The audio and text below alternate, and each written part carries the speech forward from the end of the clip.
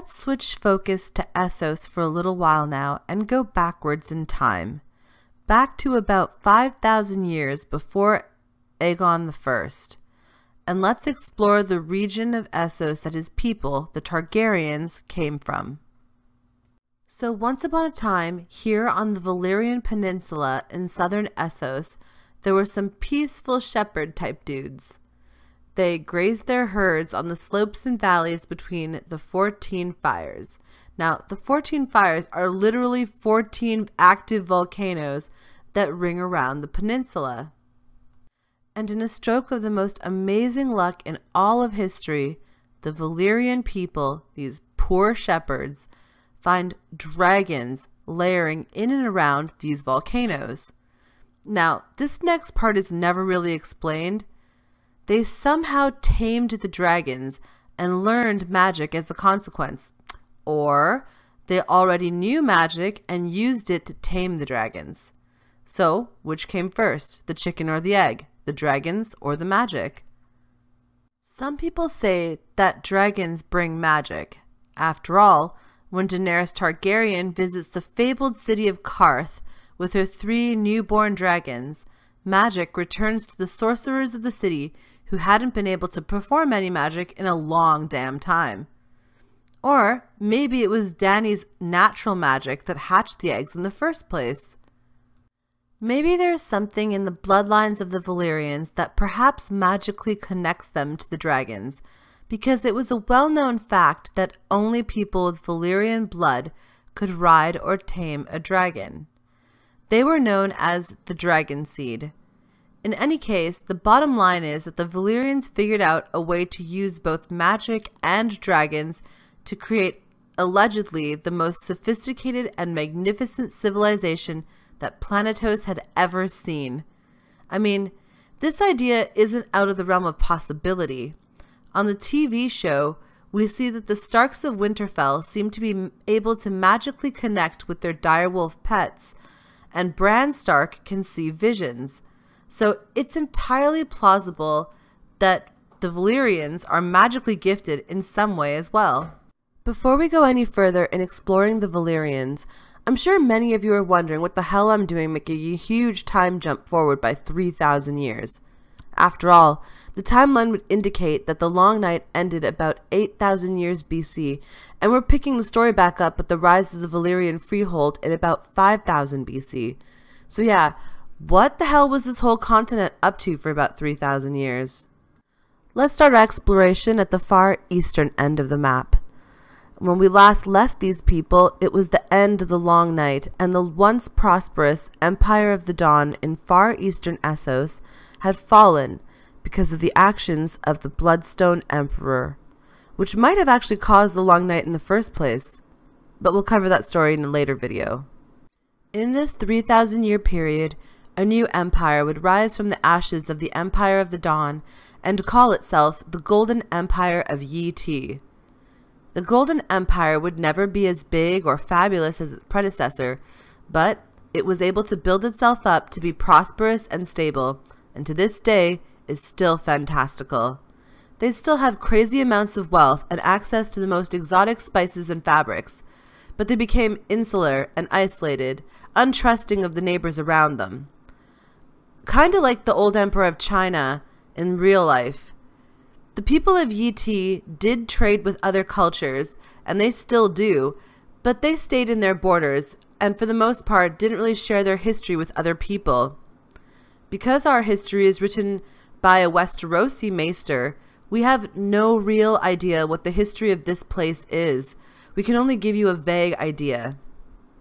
There was another major player that came up in Essos around this 3,000 year time period. and They were called the Giscari Empire. Now, for the show watchers out there who haven't read the books, the Giscari are the dudes who worship the harpy, practiced slavery, and they made the Unsullied. So it's clear that the old Giscari Empire had many familiar aspects to it that the show watchers will recognize. The Giscari of today still worship the harpy, they still keep slaves, and they still live in pyramids. So just use the people of Slaver's Bay in the TV show to give you an idea of what the old Giscari Empire was like.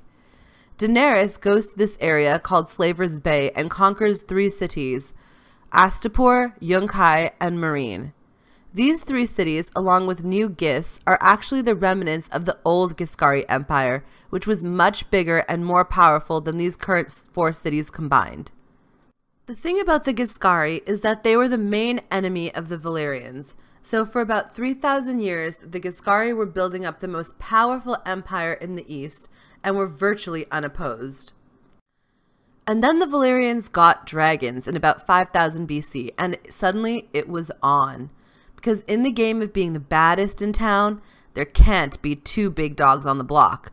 So the Valyrian Freehold and the Giscari Empire square off. It's all out war for 300 years as the Valyrians and Giscari go toe to toe in five different massive wars. And despite the fact that the Giscari have a much larger army comprised of hordes and hordes of trained slaves, predecessors to the Unsullied that we see in the show, the Valyrians and their dragons ultimately come out victorious each time. I mean, dragons are kind of the atomic bomb of this world. Finally, at the end of the Fifth Giscari War, the Valyrians just utterly destroyed the capital of Old Gis, literally tearing it down and burning it to the ground. Then they poured salt and sulfur on the ground around the city so that nothing would grow there, and to add insult to injury, they decorated the place with skulls just to prove that they were the baddest in the land. This last war took place around 4700 BC. So now that the Giscari were wiped out, the Valyrians turned their attention to another civilization they hoped to subjugate, the Rhoynar. Remember how from before I was telling you that the Rhoynar were the ones who taught the Andals how to forge steel and iron? Well, these guys were more than just some dudes who were good with metal and boat making. The Rhoynar were this sophisticated, advanced, river-based civilization that sprang up along this huge river, the Rhoyne, or Mother Rhoyne as they called it. And the descriptions were given of this civilization remind me a bit of ancient India, at least the parts of ancient India that sprang up around the mighty river Ganges. Sidebar, the Ganges is actually called Ganga in Hindi, See, I teach you stuff too. It's not all just dragons and nerd stuff. Here are some other interesting facts about the Rhoynar that make them a really super cool civilization. Unlike the rest of the world, men and women were considered equals in their society in terms of inheritance and ownership. They were famous for fine craftsmanship and world-renowned art, dancing, and poetry.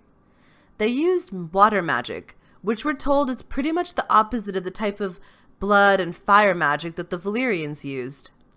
Anyway, the people of the Rhoyne lived in relative peace for thousands of years until about 950 BC, when the slow growth of the Valyrian freehold finally caused the two great civilizations to clash, with Valyria ultimately coming out victorious in the end.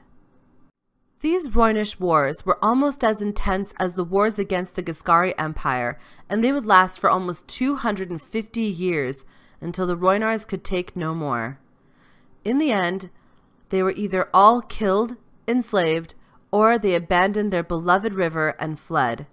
And the Valyrians completely ruined their leftover cities, once again using the tactic that they'd used on Old Gis, they poured salt and sulfur on the ground just to make extra sure that the Rhoynar could never rebuild their homes.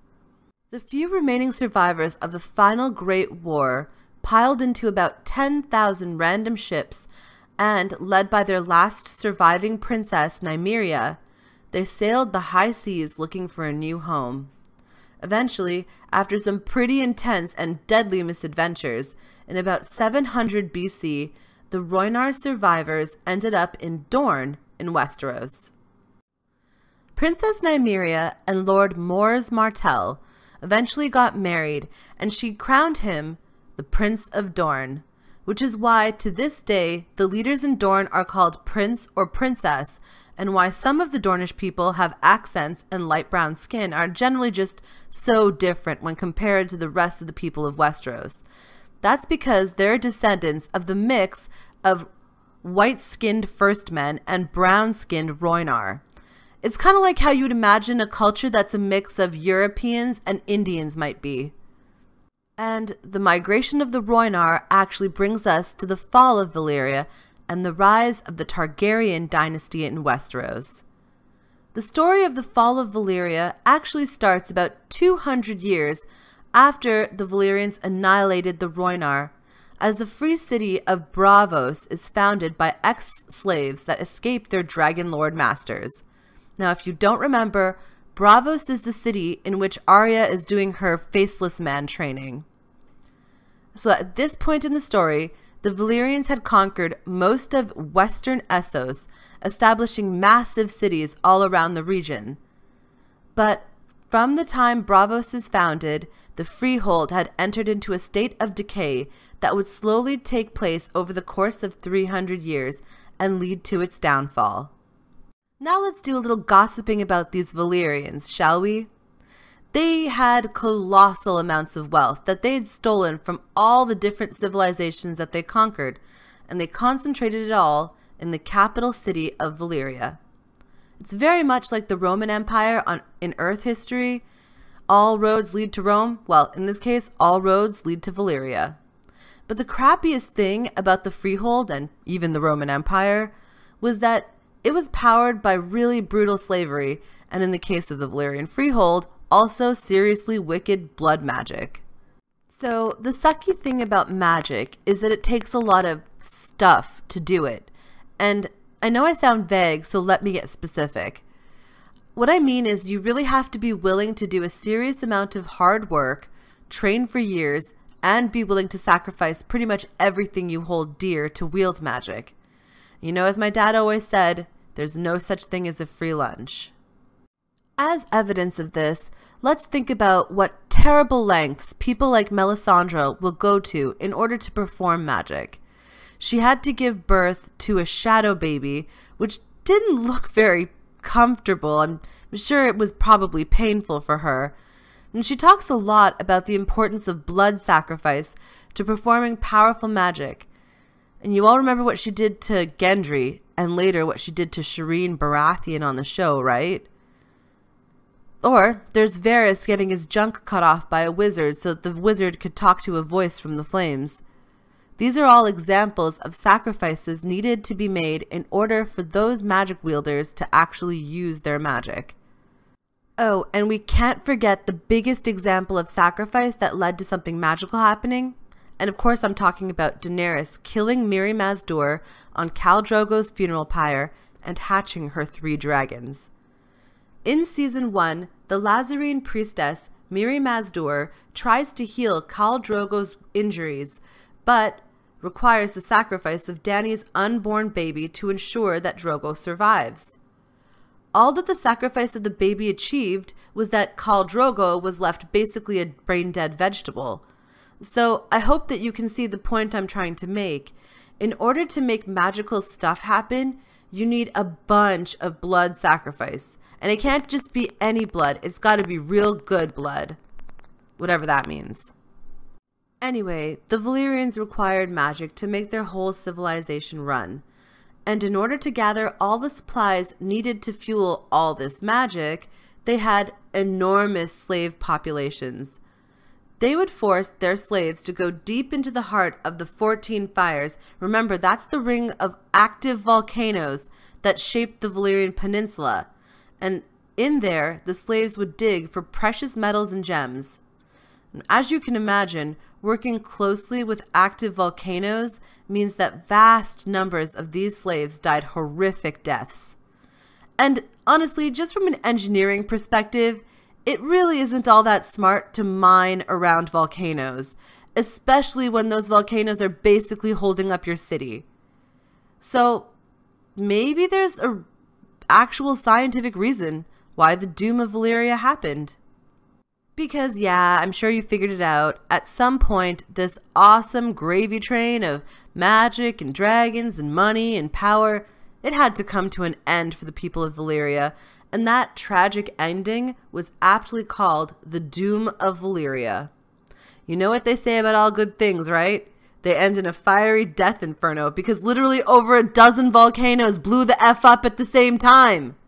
Sorry. But what happened to the Valyrians? Did they all die? Well, Yes and no? See, Valyria itself might have been destroyed, but the Valyrians had conquered a bunch of existing cities and built some new ones of their own all over western Essos. So any Valyrians who had been living in a different area than the Valyrian peninsula proper would have survived in cities like Volantis and Lys.